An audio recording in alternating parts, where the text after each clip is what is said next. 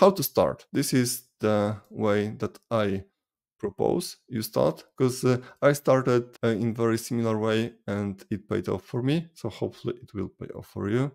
Start with uh, what you're interested the most and basically then extend your focus. So here we've got a few examples that I put together. Uh, let's say that you're a hardware designer. As a hardware designer, you might learn how to write firmware that will run on your own hardware because you know the hardware very well. So writing firmware for that hardware should be in your reach. And once you've got some basic functionality, basic logic running on your hardware, then you can extend it, for instance, to add capability to your firmware to communicate with the cloud backend. And all of a sudden, you've got everything covered and you've got the end-to-end view into the whole system.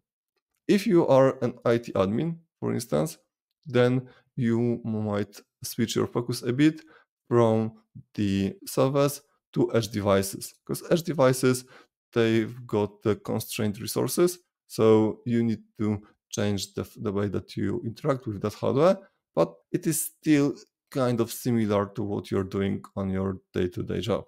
And once you understand the nuances of edge devices then you might try to take next step which is the app development. So you learn how to code you learn how to write application logic that can run on the edge devices and also potentially this logic can run on your backend on-premise infrastructure. So this is something that should be doable if you're IT admin and on the flip side, if you are application developer that works with uh, virtual devices, with virtual resources, maybe you can try to leverage your skills to write an app on a specific edge device. Once again, you need to respect the constrained resources of that device, but that should be within your reach. And at the end of the session, I will show some tools that help you get there. Once your app is running on the edge device, you can proceed forward to learn about IT administration. So how to create a local network to be secure, how to maybe configure some firewalls, how to add routing, all of that stuff that as a developer probably you don't really care about. But if you want to extend your impact, this is something that I would uh, propose. The same theme, get out of your comfort zone, and accept that you won't know everything when you're starting, but like you, you will not know everything even after you way advanced in the IoT stack itself.